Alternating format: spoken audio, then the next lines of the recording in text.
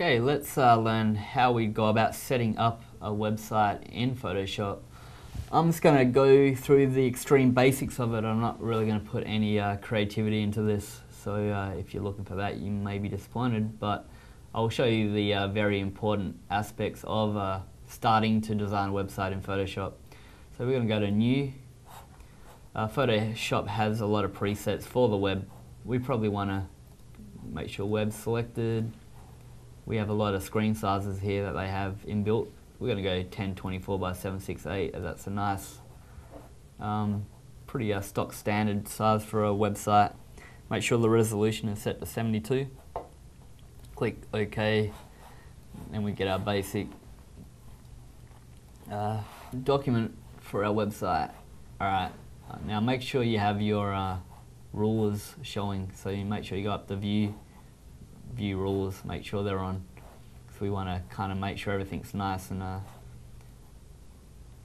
measured out so we don't have stuff gone all over the shop.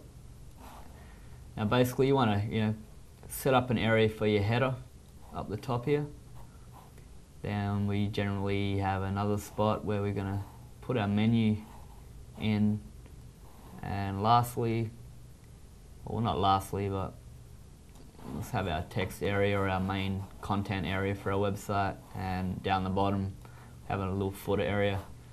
So basically you go about you know, drawing into these areas with whatever it is you need. You know if you want to insert graphics or text or color or whatever it is I'm just gonna fill these with color right now just so you can see you know use different layers for each one in case you need to edit them later.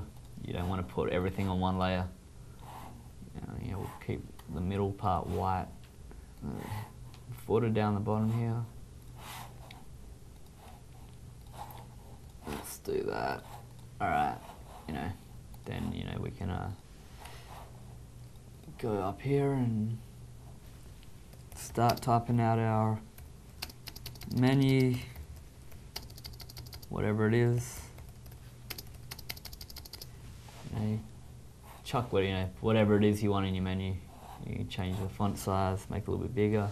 For your buttons, if you want to chuck a few shapes in there, you can.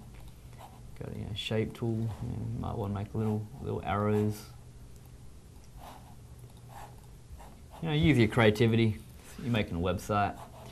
Anyway, let's just say you've gone a, you've gone ahead, you've finished designing your website. Now, there's a really cool thing you can do in Photoshop that does a lot of the hard work for you.